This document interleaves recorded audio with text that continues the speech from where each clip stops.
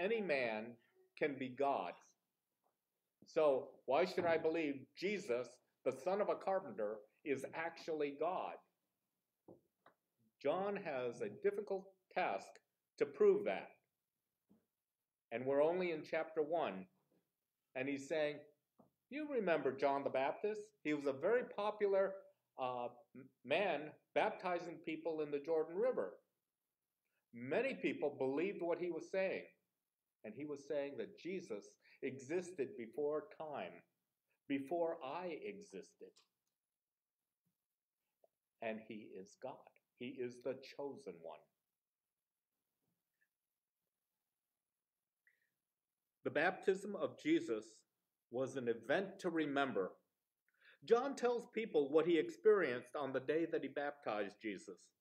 People have been praying for the Messiah, the anointed one, the chosen one. Do you know the Christmas song, O come thou long expected Jesus? Now, uh, it expresses the burden of their prayers. They were looking forward to the Savior. Why am I saying that? I want to emphasize these people are looking for the Savior, and John is announcing, Here comes the Lamb of God. Why is that important? Because a lot of people say, Oh, all the Jews were looking for the king. That's why they didn't see the Lamb. John is addressing the other people because Pharisees were looking for the king, and the Pharisees were saying he can't be the Messiah because he's not the king. Remember what I said last week? The book of Matthew is written to prove that Jesus is the king. John is trying to prove that Jesus is God. So they have two different purposes for writing these gospels. So don't try to compare them. You have a different audience. So, while the Pharisees were trying to push everybody in one direction, saying, if he's not the king, he's not the Messiah, there were others who were looking for the Messiah, the Lamb of God. After all, what do they do at the temple?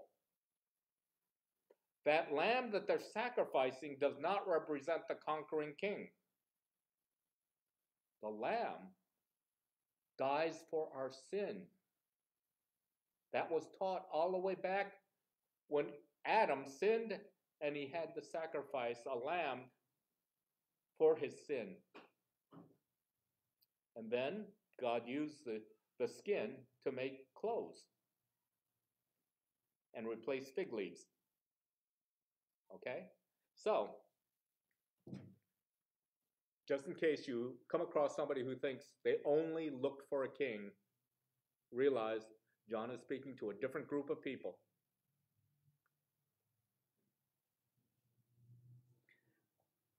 Thirty-five and thirty-six says the next day John was there again with two of his disciples. When he saw Jesus passing by, he said, "Look, the Lamb of God."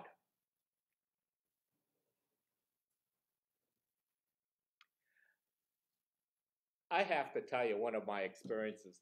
When I when I went to Bible college, uh, uh, I remember a new translation came out for the Inuit people. The Inuit, we call them Eskimos, but that's a negative term. In Canada, you don't say the word Inuit. You, I mean, you don't say the word Eskimo, you say Inuit. They live in the Arctic Circle where trees do not grow. How many times do you see the word tree in the Bible? How do you translate that for them? They think a tree is anything that stands upright. So if they pile a bunch of rocks on top of each other, usually that's a marker for directions, like follow this path. You'll see another one further down. But they also call it a tree because it stands upright. If they ever get below the Arctic Circle, they might see a real tree. Well, are there any lambs in the Arctic Circle? Think about this. They had no written word of God. So if you were the translator, how would you translate lamb? They have reindeer. The reindeer is called a caribou. The translator who translated their, their Bible, their New Testament, instead of lamb, he said uh, this whole sentence, that which looks like that which looks like a caribou calf. Well, a caribou calf kind of looks like a lamb, right? Now translate this verse. Behold, that which looks like a caribou calf takes away the sin of the world. Wow. I think I lost something in the translation. Translating is not easy. I'm amazed when I hear you guys translate. so, anyway, so ever since I, I, heard about the new translation for the Inuit, I, I always think of this verse. Well, that's getting off the subject. Anyway. Now, it says, the next day, John was there again with two disciples. Two of his disciples. Now, I don't know if these two disciples witnessed Jesus' baptism, but John is announcing that Jesus is the Lamb. So, keep that in mind that there are two people out there with John, because we're going to come back to that. Uh, I mentioned to some of the people earlier that as we read this section, you should be asking a lot of questions. This is probably the best section to ask questions. Okay? And after I start asking these questions, you'll probably say, Why didn't I think of that question? I want you to start to learn how to ask questions as you read. That's probably the most important rule that you're going to learn today. Ask questions.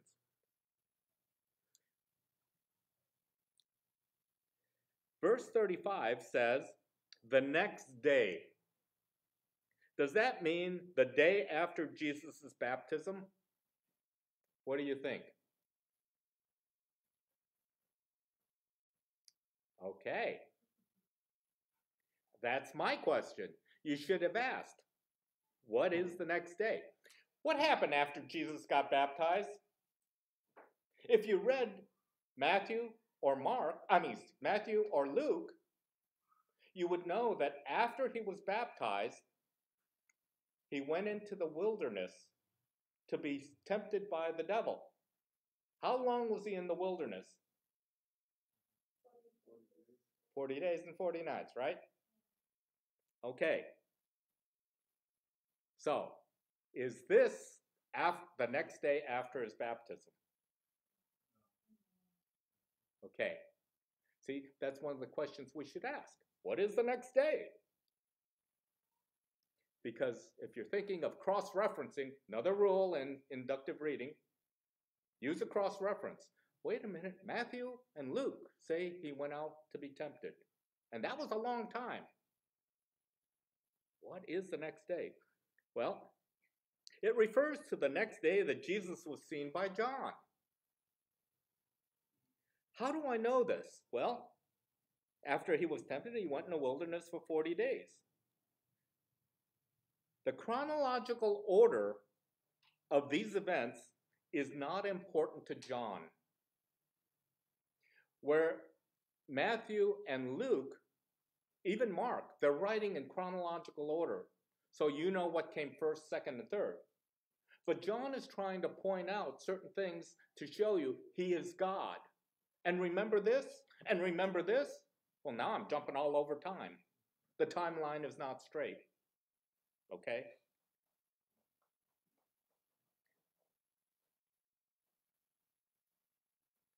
So that's another rule in inductive reading.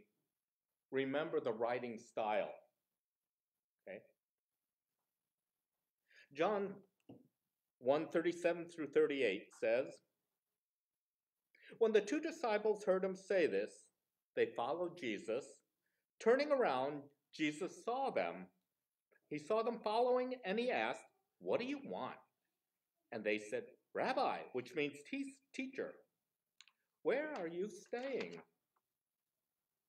Okay. Here's another thing I want you to do when you're reading imagine yourself being there. You today are one of those two disciples. You're standing there with John, and John points out, Behold, the Lamb of God who takes away the sin of the world. You are looking at God. You are standing so close to God. How do you feel?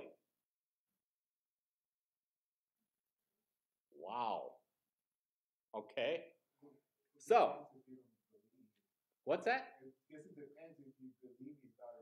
Well, these are all followers of John. Okay. So he, they're going to believe John's uh, witness. He's saying Jesus, the, the, the Son of God, is walking on this earth right now. Prepare your lives. Get right with God. Start walking with God because you might be running right into Him. And what do you know? Here He is. Yeah, I, I get nervous. Okay, so you're one of the two. And He's saying, He's right there. Okay, you know, I would really want to talk with God, but I am so, so unworthy. I don't have the right to talk to Him. So, you know what I might do? I might try to memorize His face. I don't want to forget what God looks like. I might want to re- remember everything about him his size, his height, you know. I want to take in as much of him as I can.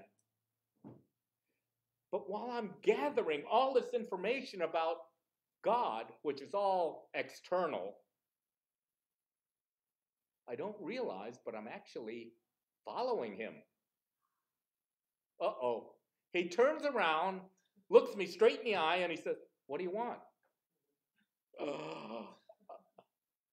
And so, first thing that comes to my mind is, Where do you live? Think of that, this now. If two totally strange, but totally foreign people, two people you've never met, asked you, where you live, where do you live? Do you want to tell these strangers who smell like fish where you live? And after I say that, I'm going to think, oh, I didn't want to ask that question. In fact, he asked me a question. I'm supposed to answer his question, not ask him another question. I wish I could just take that back. But you know what he does? He says, Come and see. Ah. God is saying, I can come and see where he lives? Wow. My jaw would drop. I would, I would be stuttering.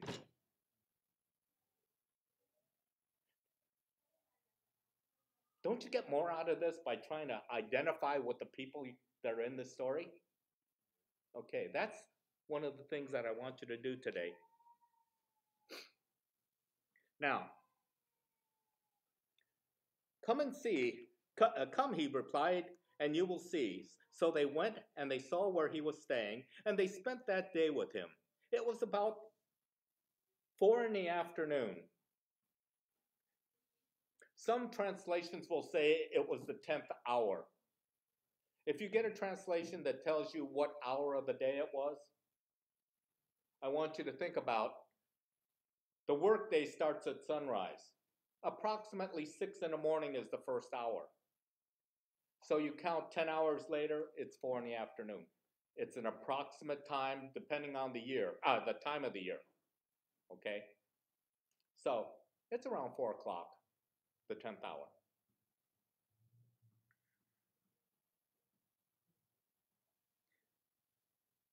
Now, I want you to notice John's writing style again. He gives a general picture before he gives the details.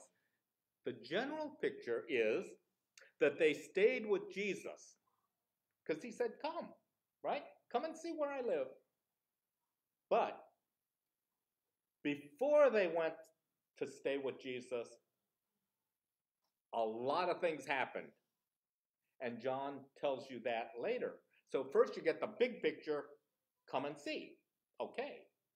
But wait, Andrew has to go get his brother. Okay, so we're going to see some details. A lot of scriptures are written like that where you'll get the, the big picture before they go into the details. Be aware of that.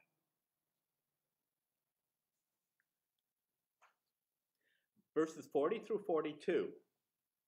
Andrew, Simon Peter's brother, was one of the two who heard what John had said, and he who and and who had followed Jesus.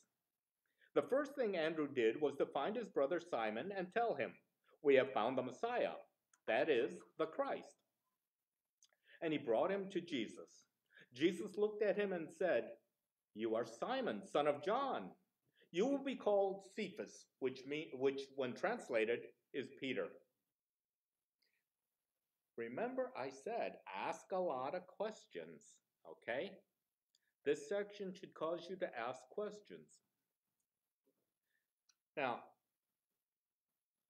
did Jesus change Peter's name when he first met Peter?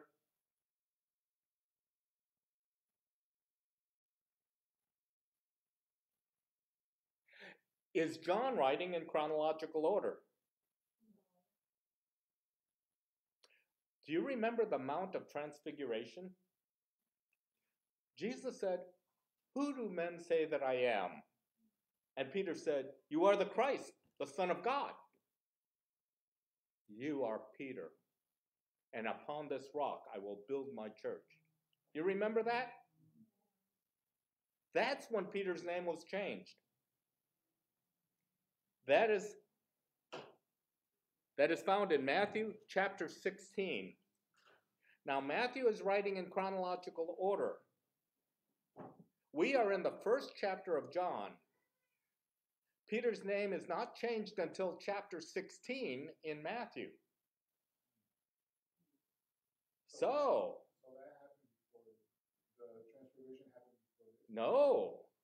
Transfigure, transfig, the Mount of Transfiguration was long after they first met. He already had 12 disciples following him at that time. So, if we know that John is not writing in chronological order, then we could say, oh, remember I said ask a lot of questions? When did Jesus change Peter's name? A lot later. Okay? What's another question? Why is John bringing it up?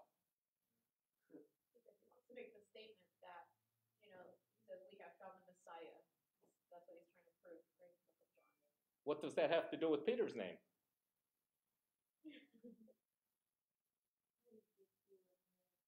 What? Can you? I'm sorry. I, I He gives you a, new identity. He gives you a new identity. Oh, oh, he, okay. He's a new, yeah, he's a new person. I want you to think. Yeah. Peter is not having an experience here. In fact, he just arrived. Okay? So we see no discourse between Peter and Jesus. Think of who John is writing to. John is, when did this book get written? In the 80s, 80. The 10th, uh, the 8th decade.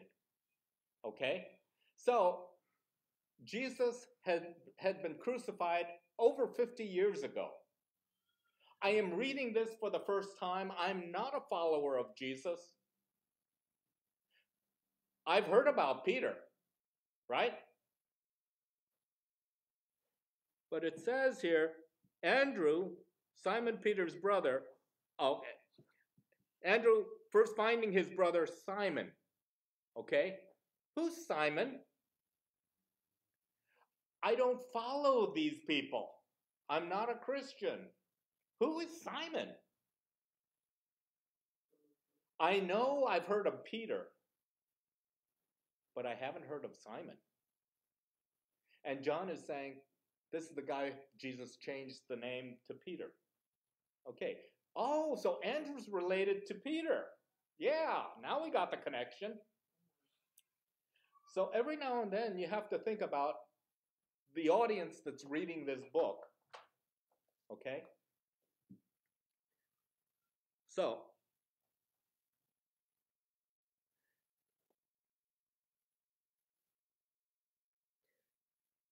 did I finish this uh, through 42? Yeah. Uh, the first thing Andrew did was find his brother Simon and tell them, We have found the Messiah, that is the Christ. And he brought him to Jesus. Jesus looked at him and said, You are Simon, son of John. You will be called Cephas, which, when translated, is Peter. Now, where did Cephas come along? How many of you knew that Peter was also called Cephas? We're getting kind of confusing with all these names, and it's all the same guy. Okay. So,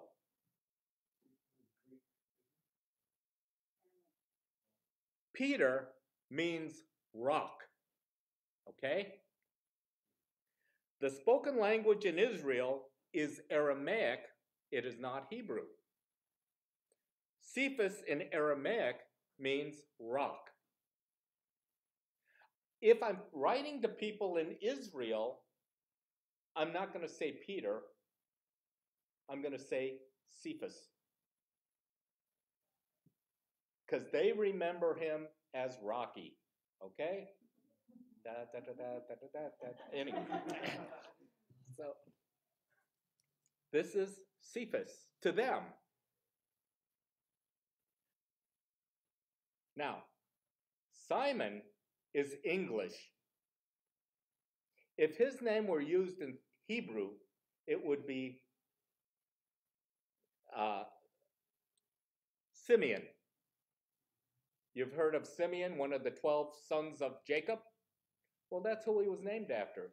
Simeon, and then later on, add that to Peter, they would be calling him Simeon Cephas. We call him Simon Peter, but they're Jewish. So, I told you before when we started this, this is the section of the chapter that will cause you to ask a lot of questions. And after I ask these questions, you're going to say, Why didn't I think of that question? I've read this many times before, and it never dawned on me that there was a problem. Verses 43 through 45. The next day, Jesus decided to leave for Galilee. Finding Philip, he said to him, Follow me. Philip, like Andrew and Peter, was from the town of Bethsaida. Philip found Nathanael and told him, We have found the one Moses wrote about in the law, and about whom the prophets also wrote, Jesus of Nazareth, son of Joseph.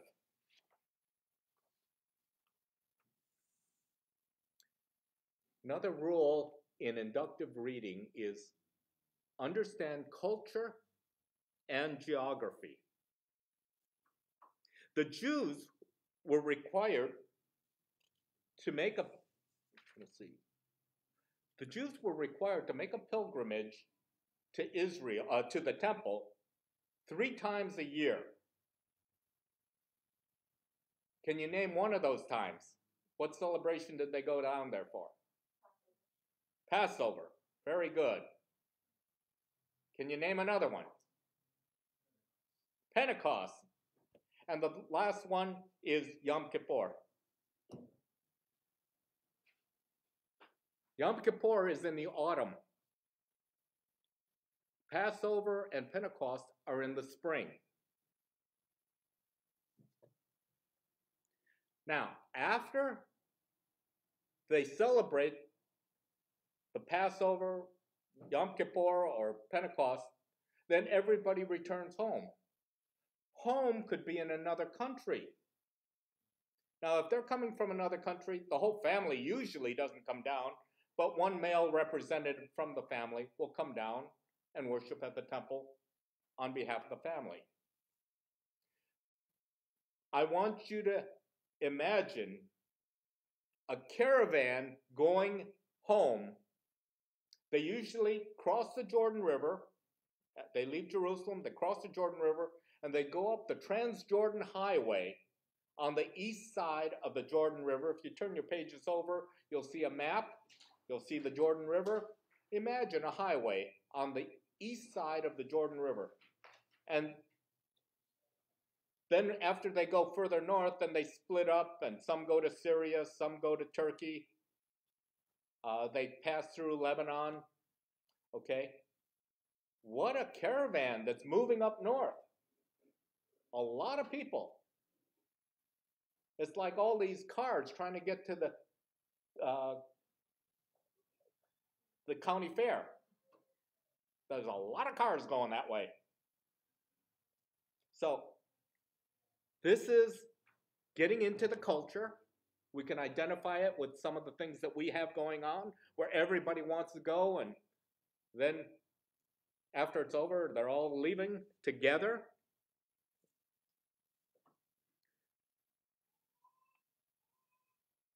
Now, Galilee, these guys are from the Galilee region.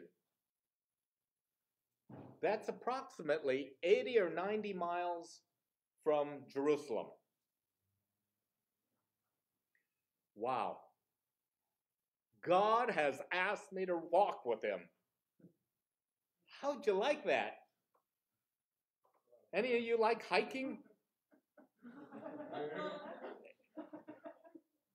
I used to love to hike, look at nature, pass things, you know. It's beautiful to walk, and it's always fun to walk with a friend. You like to walk down the mall with a friend, or you like to go by yourself? You know, you want to be with friends, right? But with God, God is inviting me to walk with Him, and this is going to be a hike. Might take a couple days, depending on how close we are when we met Him, but it might take a whole week. This is cool. I used to love hiking, and then I joined the army. So, anyway, I just want you to get the feel of this. I- I love this chapter because I can identify with a lot of it. So, anyway, verse 35 tells us that Andrew was with a friend when John said, Behold the Lamb of God who takes away the sin of the world. Who was that friend? Who? No, Philip wasn't there. Because the next day, Jesus told Philip, Hey, you want to join us? And then Philip went to get his friend, Nathaniel. So, right now, I can name four people Andrew got Simon, Philip got Nathaniel. There are five of them because Andrew was with somebody when John said, Behold the Lamb of God. Who was the fifth guy? What? John the Baptist? No. No, John the Baptist is not going to walk with them. He's too busy getting people wet. What? No, that Simon. Andrew got Simon. Okay. Unless he's got a second personality, you know.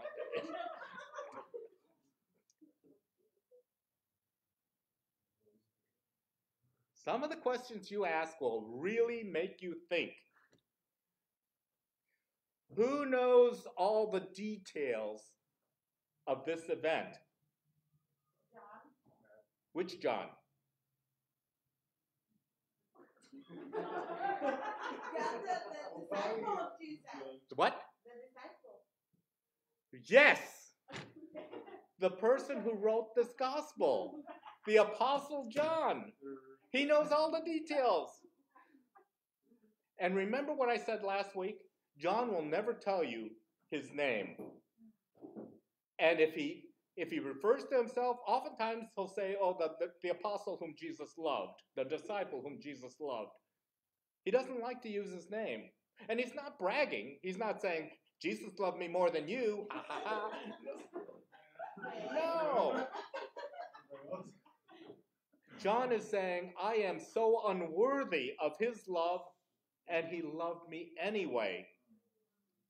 And he, he had a nickname for me and my brother James. What was that? Sons of Thunder. Because they were so hot headed and they talked like sailors. That's not good. So I used to be a sailor too. Anyway, but that, that has nothing to do with the way I talk. But anyway, Oh, so Jesus used to call him that, right? yeah, he used to call them Boanerges, sons of thunder. Okay? So John can't say Jesus loved me more than the others because Jesus had a bad nickname for me. See? So John, when he says the apostle whom Jesus, I, I'm bringing this up because a lot of people assume that John was the most loved apostle. He was not the most loved, loved apostle. But he was humbly trying to say, I don't deserve his love. Okay? What's that? Yes. In spite of his hot head, a short temper, and uh, probably foul language, very salty. Okay. Anyway. Very good.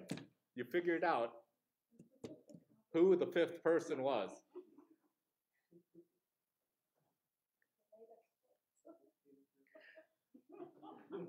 Now, we're going to get into more difficult questions here. Verse 46 Nazareth, can anything good come from there? Nathanael asked. Come and see, said Philip. I want you to think about this now. Nathanael thought that Philip had been deceived. There's a con artist trying to tell my friend Philip that he's God.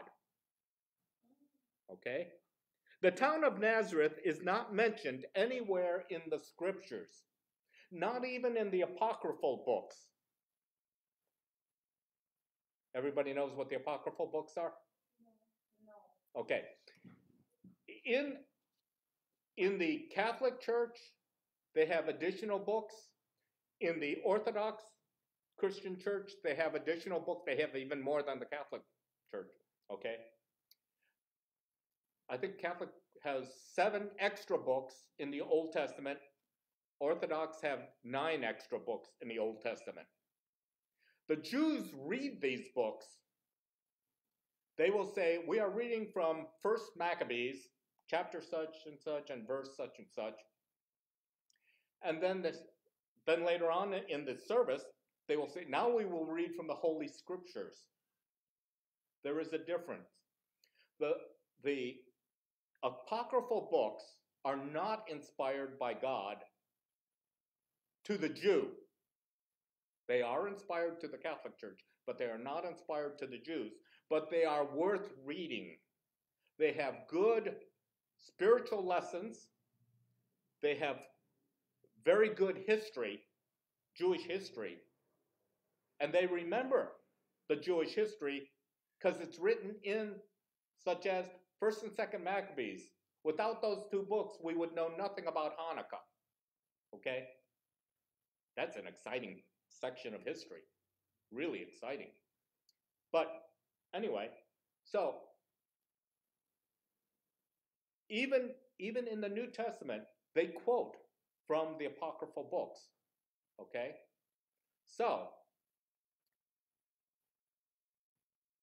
Nathaniel knows Nazareth is not mentioned in any of the scriptures nor in the apocryphal books. How could anything come out of Nazareth? All right? There's more reason why Nathaniel thinks that somebody conned his good friend Philip. The Pharisees, who are the scholars that teach us the scriptures, they don't even like people from up north. Those Galileans, Nazareth is in a region of Galilee. Those guys are hicks. They're uneducated. Messiah is not going to be uneducated. How can Messiah come from Nazareth? And then you know what else Peter uh, Philip said? The son of Joseph. What? A carpenter's son? Okay, so he doesn't smell like fish. But he's a carpenter's son. He's not the son of a rabbi.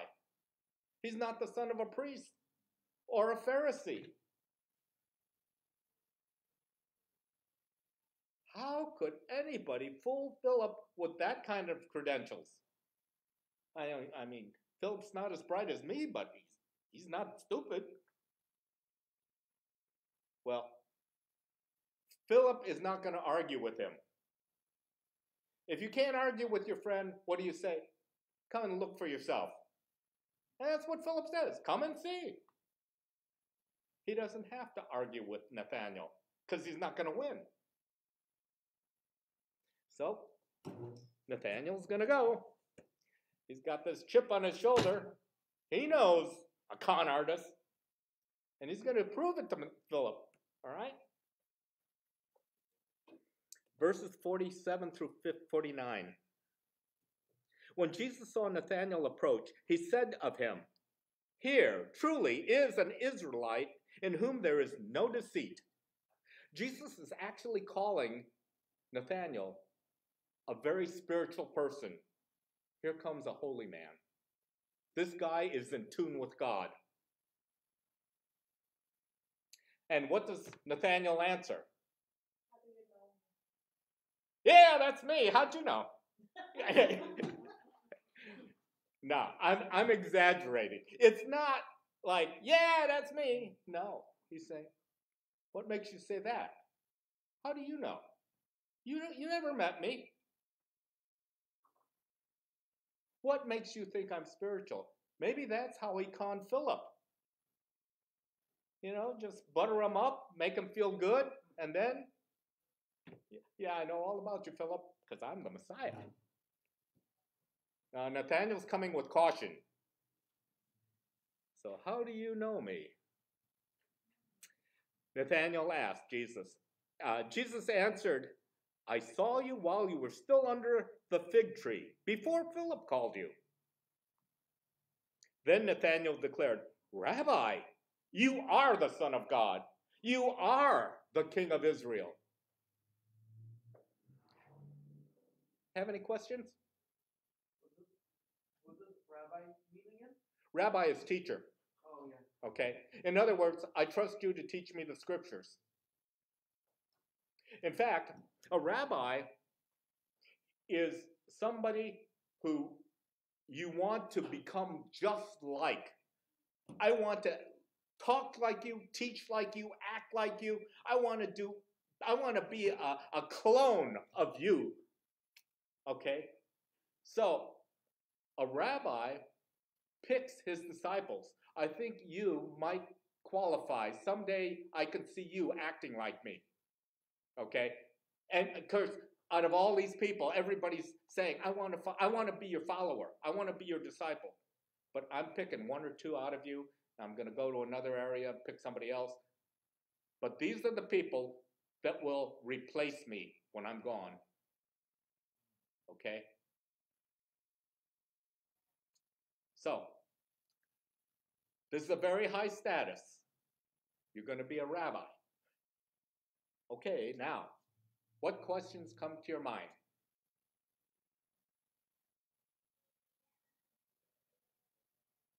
What was he doing? Ah, what was who doing? Nathaniel. Yeah, what was he doing? When? Before he was called by Philip to, to You mean under the fig tree? What was he doing under the fig tree? Think about this. If Jesus went to you and said, I saw you under a fig tree, oh, I believe.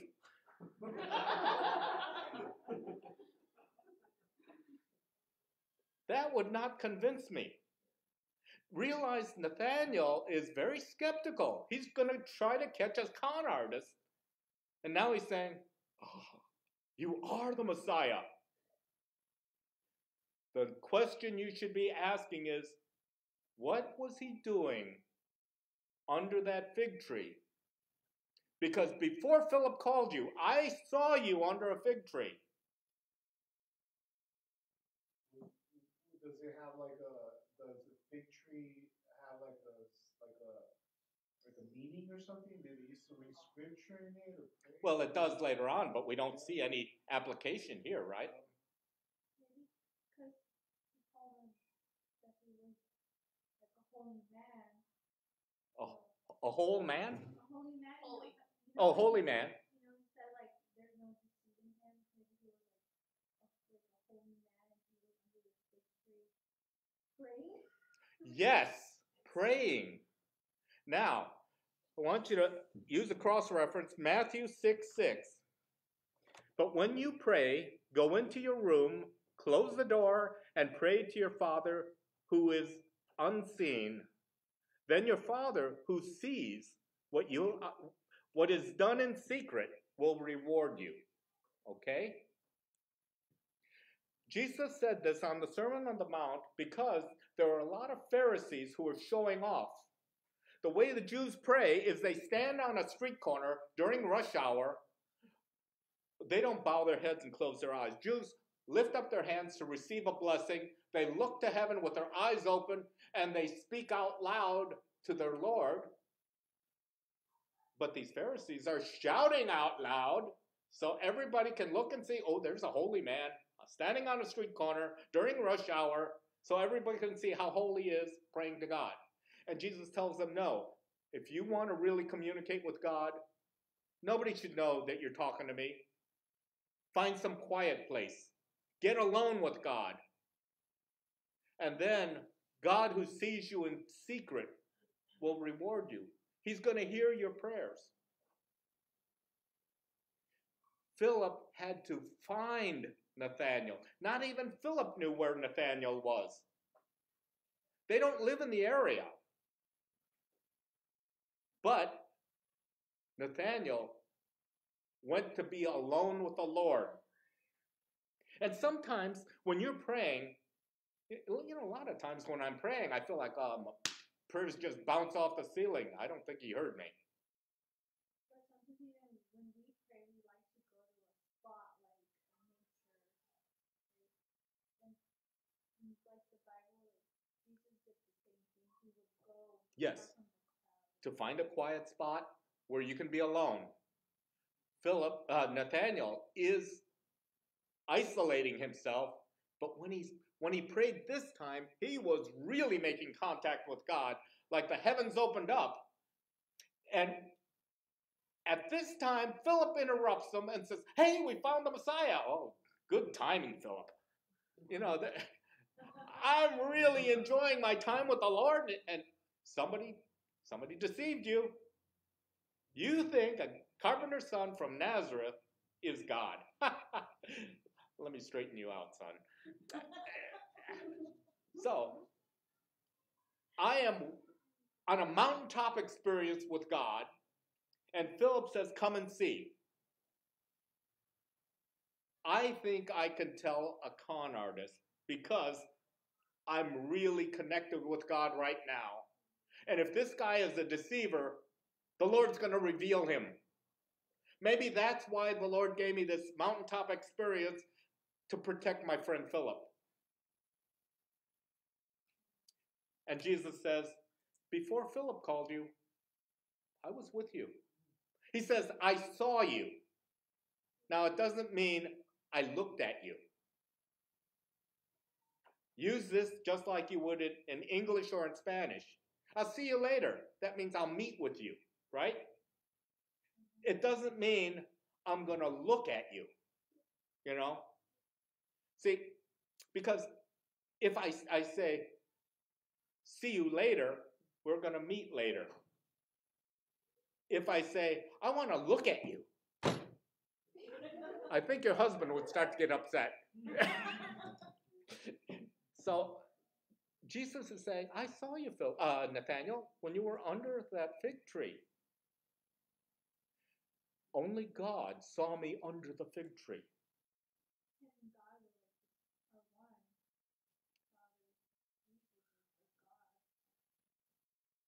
When Jesus said, I saw you, we were connecting.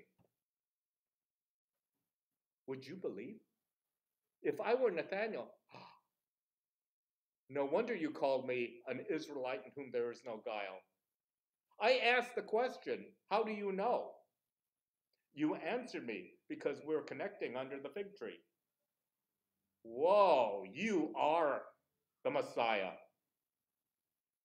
No one could give me that answer. Only God. Only God knows that. Like I said, when we're reading this chapter, there should be a lot of questions. And after I showed you these questions, you're going to say, Why didn't I see that question? I should have asked that question to myself before. This is one thing I like about reading John. A lot of things in the chapter causes me to ask questions. You'll get good at it. The more you practice indu- inductive reading, the more you'll start asking questions. It doesn't mean you're going to get an answer. So, if you have a question and uh, you have reference books at home that don't give you the answer, you make sure you pa- ask Pastor Allen. Don't come to me. Anyway.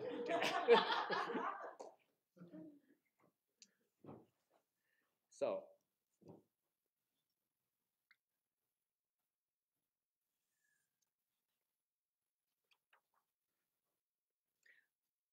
John 50 and 51. Jesus said, You believe because I told you I saw you under a fig tree? You will see greater things than that. He added, he, he then added, Verily, verily, I tell you, you will see heaven open and the angels of God ascending and descending on the Son of Man. Now, if Nathanael had been at the baptism of Jesus, do you think he would have doubts? If he saw the baptism of Jesus, he would have seen the Holy Spirit land on him, the voice from heaven saying, This is my beloved Son in whom I'm well pleased. Nathanael wouldn't have any questions. So I, I can tell he wasn't there. But Jesus prophesies at this point and he says, You're going to be there at my ascension. Ugh, I get to see him go to heaven. Wow, what a blessing. Because you believe with this much information, I'm going to make sure you're there when I go to heaven. Wow, what a blessing. This is exciting. If we trust God, He blesses us tenfold.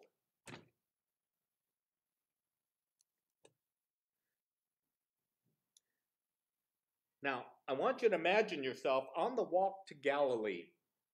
Five guys and Jesus walking to Galilee. You know, it would be very interesting to hear Nathanael's conversation with Jesus. I wasn't with Nathanael under that tree. Only Jesus and Nathanael spoke to each other under that tree. Just for fun, Nathanael might say, Do you remember, Lord, what I asked you? And Jesus would say, Yes, Nathanael, you asked me this, and this is how I answered you. And Nathanael, Yeah, yeah, yeah, that's it, that's it. Listen, guys, that's what he I, I asked him that. He answered that. Yep. He's the guy. How would you feel listening to their conversation? Wow, this is awesome. If I have any doubts, they're gone. They are absolutely gone. Imagine a few days on the road with Jesus, then throwing your blanket out, on, uh, on the ground, ready for a nap, it'd be like a little girl's slumber party. No slumber. Just a lot of excitement and a lot of talking all night long. Right? Can you, can you feel the excitement? I love this chapter. So, anyway, this is how they, they walked all the way to Galilee. And once they get home, what would you do after this hike? I would tell my friends, I would tell my family, man, you should have been there.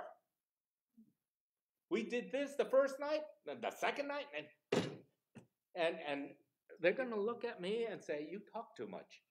You know, I I would just be too excited. And you know what?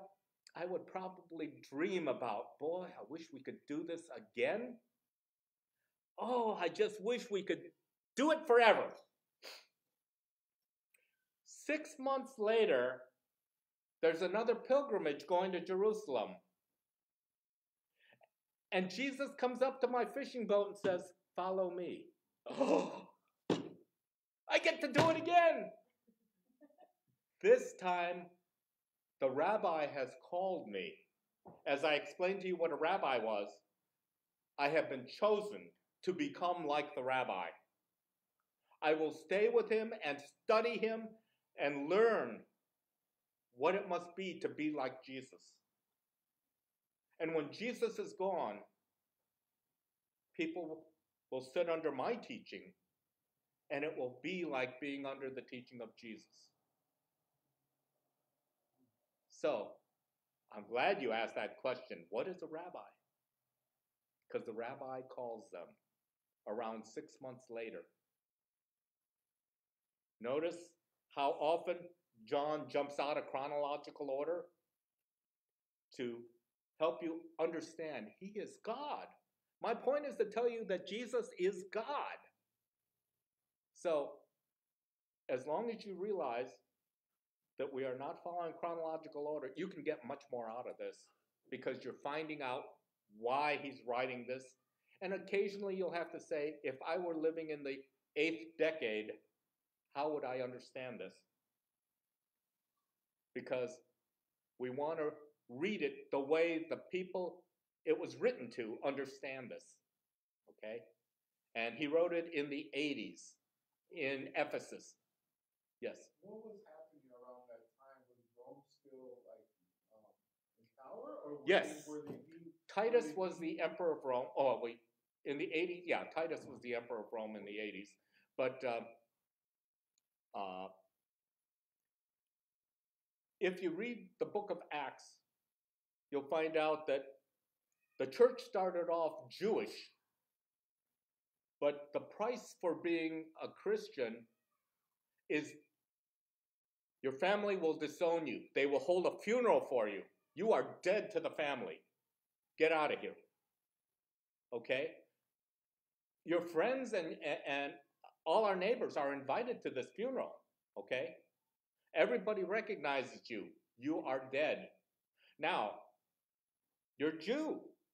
You, you, you can't come to synagogue anymore. You're dead. Get out of here. You cannot go to temple. You're dead. You come to the meat market.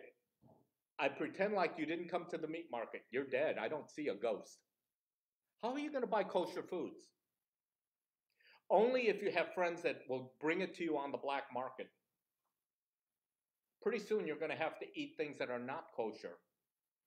What friends do, what, who's going to be your friend? People who are not Jewish. Pretty soon all your friends are Gentiles.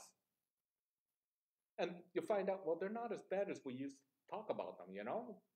They're nice people. In fact, they're a lot nicer than Jewish people now. Okay, so the church gradually became Gentile. And the book of Acts shows you the transition from a Jewish uh, congregation into a Gentile congregation. And the Apostle Paul was going to all these different Gentile congregations, teaching them. Okay? So, anyway, yes, forty-nine, 49? it says, Rabbi, you are the son of God, you are the king of Israel. Wait a minute, wait a minute. Okay, uh, Rabbi, you are the son of God, you are the king of Israel. Is he referring to Jesus as like the, does he already know that this is not the Jesus that is gonna save them from oh, yes. them being co- oppressed, or Jesus like the savior of their yes.